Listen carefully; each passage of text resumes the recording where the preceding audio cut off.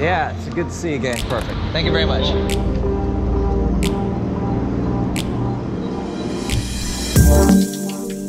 Ladies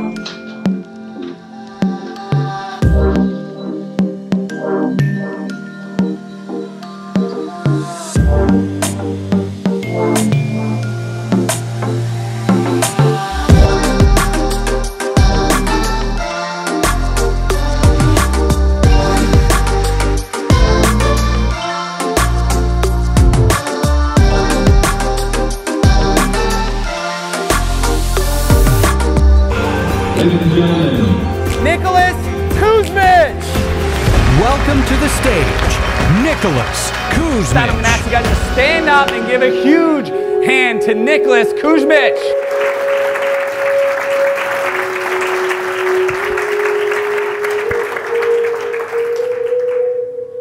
Hey, Nicholas Kusmich here, and you know what? I've had the good pleasure and honor to speak on stages at events all around the world, and I do my best to bring the most value per minute from those experiences. But honestly, sometimes some of the greatest nuggets and content comes after the talk during our Q&A sessions with the audience. And so in this week's episode of Netting Up, I want to take you behind the scenes on one of these Q&As that I did right here in my hometown of Toronto at my good friend Dan Martell's Idea to Exit event. In this event, there were some SaaS owners asking some great questions, and we got some great answers that I think will help you in your business. So go ahead, enjoy. Let's go ahead and cue that intro.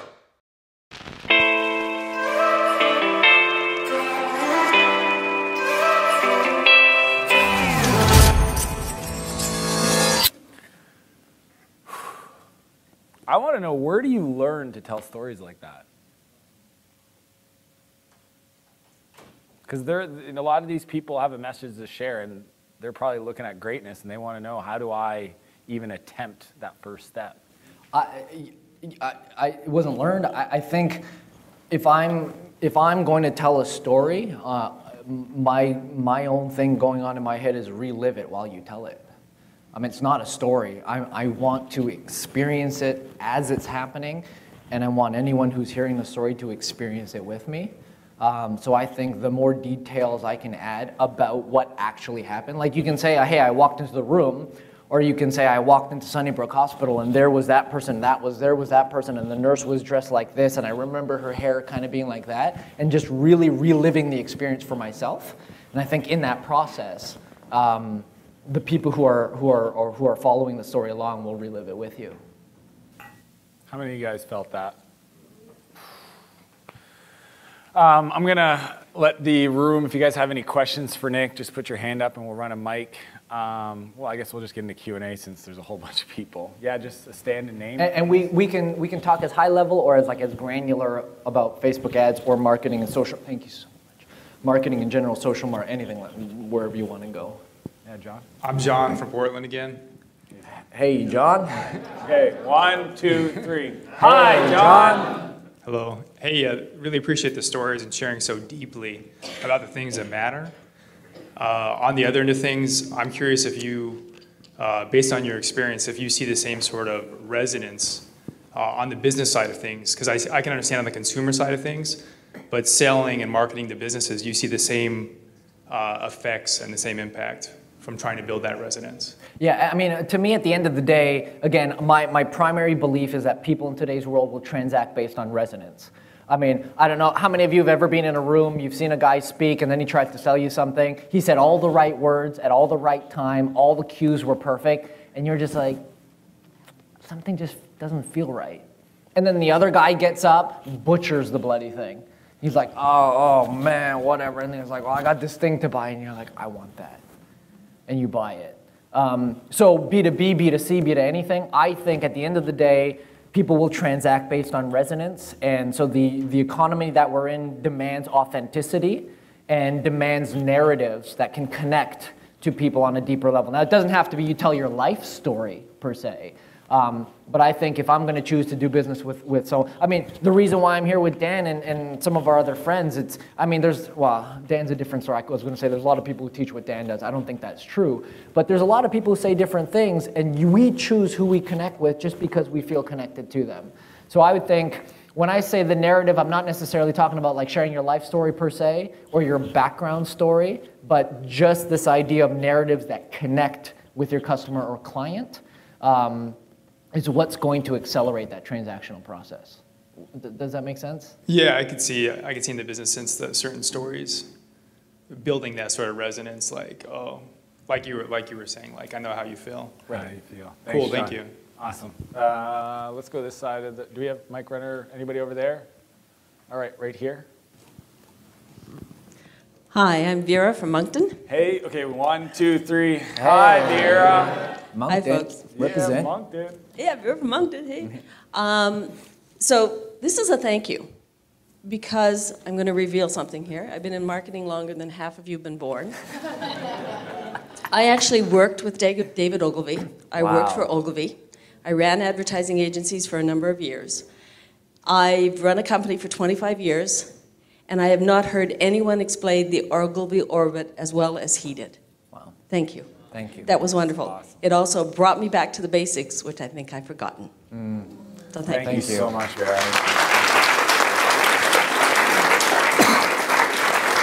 Anyone in the back? Phil?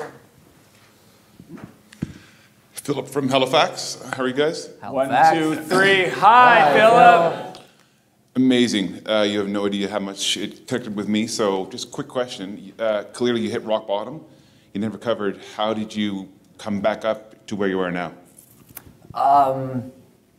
I I think it was a combination of two things. Uh, thing number one was I just surrounded myself with one of the advice that one of my brothers gave me. He goes, This is good actually. He goes, Anybody who asks details is an enemy. And he goes, Anybody who's just willing to love you through this without knowing is a friend. Um, so, uh, yeah. So I surrounded myself with people who were just like, Nick, I don't want to know. I don't even care. I love you, and I'm here for you, whatever you need. So it was the surrounding of myself with a handful of people who were willing to love me through that. Um, and then I think the second thing was um, I wasn't in a rush to get out. I think I realized, and I'm coming to this realization that I think life in its highs and its lows is meant to be experienced fully. And so many times when we hit a point of like struggle or whatever, I think that's why I had to go lower and lower and lower until the universe was just like, just embrace this bloody thing for a sec. You prideful son of a gun. And so it was at that moment where I was like, okay. And I embraced it and I wasn't in a rush to get out. And I let healing take place through nothing more than my loving friends around me. Um, that's when things started to, to, um, to turn around for me. And I wish I could say it was a nice formula or a framework or a goal that I had or a vision board on my wall. No, it's just like really loving people um, and me saying, I'm going to embrace every part of this the, the good, bad, and the ugly, and the healing process. And yeah. Thanks, Philip. All right, we got time for one more up here in the front. You know what? We'll do two more. You want to go next, Marcel? Thank you. Deval Bhatt from uh, San Francisco. Hey. Hi, Deval. So uh, I really uh, enjoyed the presentation. Thank you. Um, actually, while you were presenting, I got the domain resonate.ai because that's the name of our product, Resonate. Uh, No kidding. yeah. kind of a good idea, man. So my que- My question is, uh, um, we, you know, our product helps um, email marketers improve conversion rate using sentiment analysis and machine learning. Uh, and I'm trying to improve that uh, story uh, more and more as I communicate with people. But uh, the product is for B2B Yeah. email marketers, and uh, I want to I want to understand how do I go about establishing uh, resonance with uh, the people in B2B space. Kind of similar to what his question was, but I want to be more tact. I want to get more tactical Yeah. answer. Like, do I smile and dial and get on call with them, like Dan says?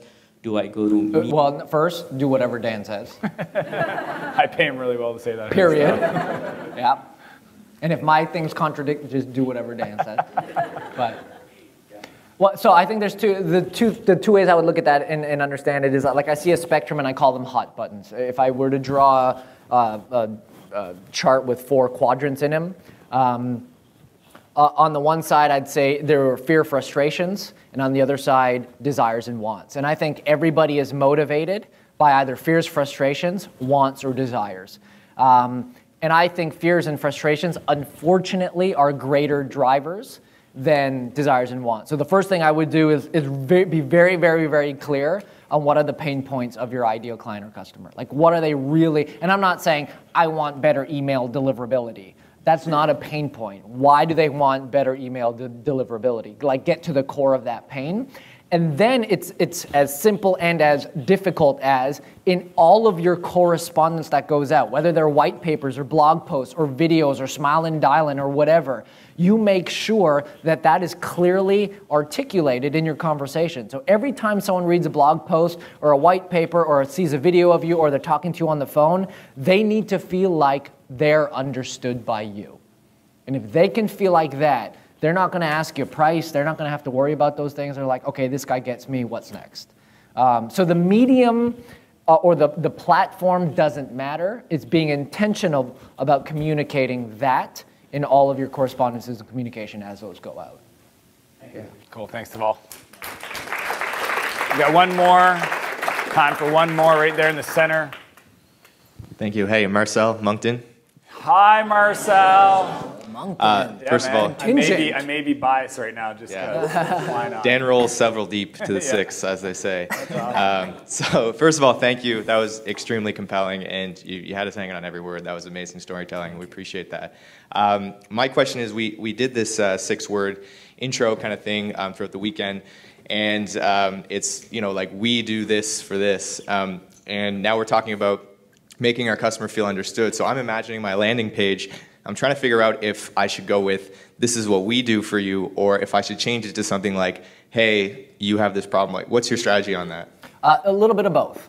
Um, but if, if there was an 80-20 rule, I'd, I'd uh, yeah, the whole the whole adage on the online space is when someone lands on your page, they're asking, "What's in it for me?" That's it. So if they within the first couple of seconds don't get that answer, like "What's in this for me?" Um, they're gonna bounce. So it's not to say that you don't talk about what you do, because they want to know. That's a part of connection. They want to know that you can help them, but um, I'll put heavy emphasis, 80% of the emphasis on them, and then 20% of the emphasis on this is what we do. But I always like to, a good copy sequence that we use often is what I would call feel, felt, found. So it's this idea of, hey, I know how you feel because I felt the same way too until I found this. And that's where you can start with pain, connection, solution.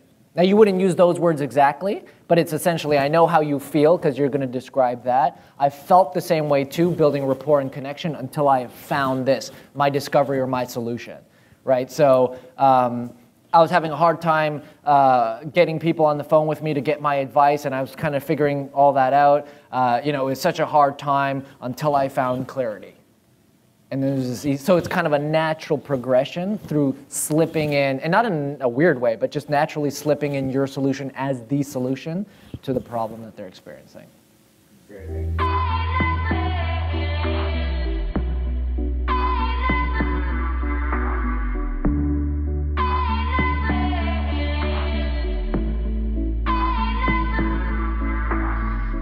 Guys, Nicholas Kusmich.